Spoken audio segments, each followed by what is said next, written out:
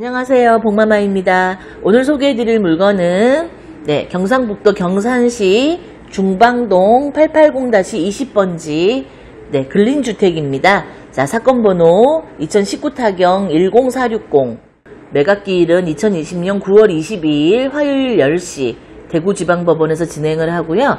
지금 감정가가 9억 4,200인데요. 지금 한 번 유찰돼서 6억 6천, 6만 9천 원입니다. 그러면 10% 보증금 6,600, 6,900원. 네, 이렇게 10% 준비하시면 수표로 한 장 준비하세요.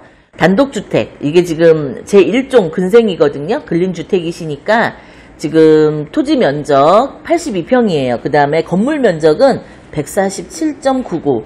네, 1층과 2층, 3층, 4층 건물이고요. 주변은 지금 단독주택, 관공서, 근린생활시설 등으로 형성이 되어 있어요. 본건까지 차량이 가능하고 제반 교통 상황은 예, 좋은 편이라고 말씀드릴 수 있어요. 네, 기차역과 전철역, 네, 시청도 근처에 있고요. 이 본건 토지에 지금 4m 내외의 도로가 예, 결합이 돼 있어서 굉장히 괜찮다고 보실 수 있고요.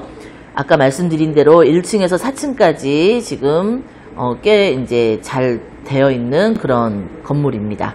지금 여기에는 소멸되지 않는 근저당은 없는데요. 세입자들이 아무래도 이제 근린 주택이다 보니까 뭐 1층의 상가라든지 또 어, 2층, 3층, 4층에 어, 그 월세를 살고 있는 세입자들도 있고 예, 전세 세입자들도 있는 것 같아요.